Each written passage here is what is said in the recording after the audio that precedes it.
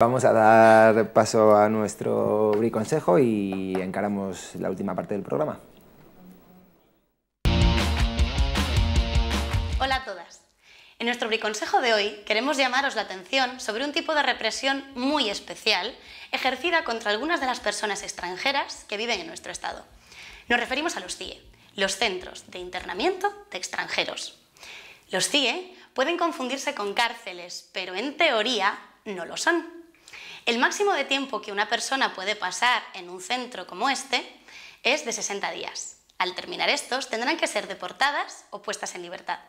Las internas no son delincuentes, son extranjeras sin papeles o con papeles que pueden haber cometido alguna falta, como trabajar sin permiso o ejercer la mendicidad. Así que, a pesar de que en los CIE no haya presas condenadas por un juez, en la realidad, las que hay allí internadas pierden su libertad durante dos meses completos.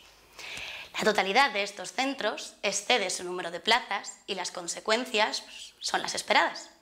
Hacinamiento, mala higiene, desatención médica, etc. En ocasiones se ven privadas incluso del derecho de tener un teléfono móvil con el que poder comunicarse.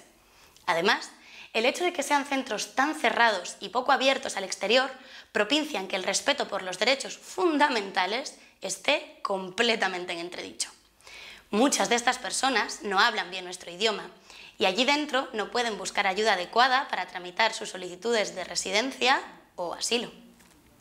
Más allá de las condiciones que sufren sus ocupantes, las supuestas humillaciones y vejaciones, la sola existencia de estos centros, además de innecesaria, es ilegal.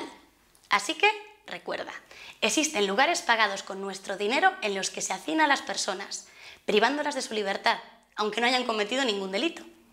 Son centros racistas y clasistas que merecen ser cerrados.